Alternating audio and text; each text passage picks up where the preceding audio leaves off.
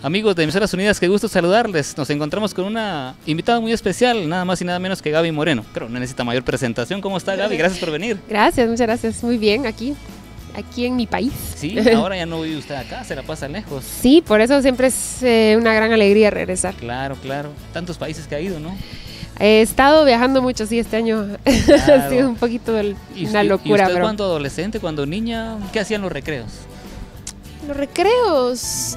Em, no, a ver, no era mucho de, de estar haciendo demasiada actividad. La verdad es que el- para mí recreo era un momento para descansar, eh, comer algo y estar... No salía a jugar ahí Salía a platicar con las amigas. A jugar tenta, preguntaba. Tenta. Sí. Electrizaba. ¿ah? Sí, sí, sí. Sí, no, porque a veces Sí. uno no hace deporte, pero por lo menos se pone a jugar ahí Claro, con los sí. amigos. Sí, eso sí. Ah, bueno. ¿Y, de deporte qué, qué le gusta más? De deporte em, me gusta el, el fútbol, me gusta Ajá. seguirlo durante el mundial especialmente, pero mm, también me, me gusta el tenis, lo jugaba de, de pequeña. ¿Y era buena? Pues no sé, no sé si era buena, la verdad, solo sé que me, me gustaba jugarlo. Ah, bueno, pero eso quiere decir que, pues sí, tuvo sus clases y que los Sí, toques sí, sí. y que los golpes y Tuve, toda esa clase ah, sí, sí, todo eso, tuve clases, Ajá. este, fui parte de una competencia entre, entre niños, pero Claro. estuvo, sí, era bien bonito. Y, y en esos días, ¿cuáles eran sus sueños? ¿Era ser una cantante famosa como después se convirtió? ¿O más bien una tenista famosa? ¿Usted sabe que el cantante, no el cantante, el baterista de Metallica, por ejemplo, Ajá, su papá fue buen jugador de tenis? claro. Julio Y- Iglesias también era, era También, jugador de... también, claro, sí, de fútbol, ¿verdad? muchos eran, eran deportistas. Y el papá de, del de Metallica lo mandó a Miami para que jugara tenis y se Ah. fuera especialista en tenis. Pero Ah. él decidió la música y después Claro, ahí se quedó. ahí cambió la historia. ¿Y usted dónde, Sí. cómo compaginaba sus sueños? ¿O Em, no pasaban por, por eso?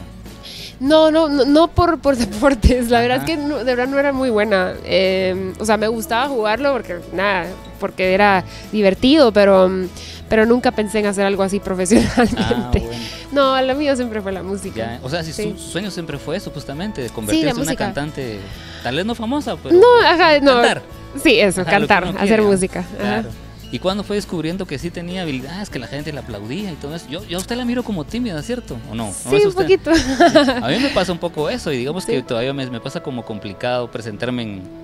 Pues, a uno que trabaja en la radio y todo. sí. y, y usted, por ejemplo, cómo comenzó a, a vivir todo eso ya de ver gente que iba a verla? La verdad es que desde, desde pequeña, yo empecé a los, o sea, a los, a los nueve años, fue, fue mi debut en el Teatro Nacional para un, para un evento de la Yosi Sideral. Ajá, justamente. Justamente, ajá. Ajá. Sí, yo Y me acuerdo de su nombre desde siempre, ¿no? Sí, Ah, entonces Como desde el de desde chiquita. ¿Verdad? Que Ajá, desde e- exacto. Ajá. incluso las, las dos fuimos parte de este, de este mm, programa de Pequeñas Estrellas. Estuve yo ahí de invitada especial cuando ella estaba concursando. Eh, entonces yo, yo, yo siempre estuve metida en, en- en- en ese, en ese ambiente. O sea, siempre estuve cantando en todos lados, abriéndole conciertos a Cristian Castro, Magneto. O sea, Ah, cuando tenía sí. 10 años, 11 Claro, años. Para usted eso ya era Es- emocionante. Totalmente, sí. Y me acuerdo que estando en el escenario, o sea, me sentía muy, muy cómoda. no sé. Eh, sí, sabía que eso, eso era lo mío. Claro. Y, y, y digamos, ¿usted se acuerda quién le pidió su primer autógrafo? Como un artista que usted admiraba, tal vez. Eh, No autógrafo necesariamente, pero saludar. Sí. Ajá.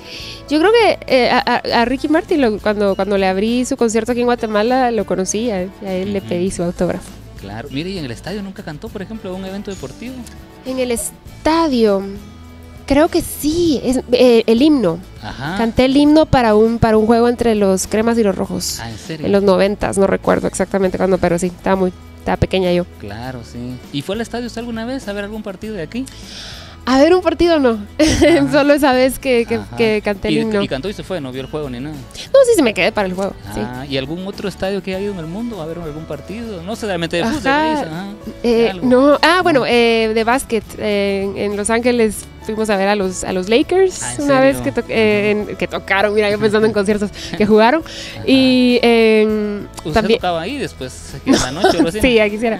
Y de base también. Ah, He ido a ver a los Dodgers, a los Cardinals. Ah, ¿Sí? que- ¿Sabe que aquí en Guatemala estaba pensando, nos hace falta eso, tal vez, ¿no? Cabalmente vi a Metallica hace dos días, tres días, que está en un evento con los gigantes de San Francisco. Ajá. Cantan el himno y hacen y se ponen ellos la playera de la... Ajá, Ay, ajá. Y aquí te les faltaría, ¿no? Sí, ¿Verdad? sí. Digamos un equipo, alguna cosa. Sí, para el, para el de los Dodgers, eh, yo, yo hice un conciertito en el, había, en, en- en el parqueo, había un... em, y pusieron ahí una tarima y, y le, le llamaron Viva los Dodgers, Entonces, antes del, de, de- o sea, antes de que la gente, cuando la gente estaba llegando y todo, estábamos tocando nosotros. Y luego Ah, ya. ya. se pasaron a ver el partido. Ah, qué Sí. bueno. Bueno, pues ha sido un gusto platicar. Gracias por haber Muchas venido gracias. Y hagamos, un trato. ¿Qué le parece Sí. si la próxima vez Sí, Claro, de repente usted tan ocupada que se ha vuelto y cada vez más, más, más difícil hablar de una persona tan con tanta agenda apretada, ¿no? Pero algún día, quedemos, un día, mire, pues vamos a dejarlo grabado. Un día Va. vamos a ir al, al diamante de béisbol de aquí. ¿Ha ido? al, ah, Al ¿no? trapo Torrevierte. No. Ah, no ha ido. Ah, Eso, ok. Fíjese que está bien bonito, ¿Sí? bien cuidado y todo. Como la gente no va mucho, entonces se mantiene en buena condición.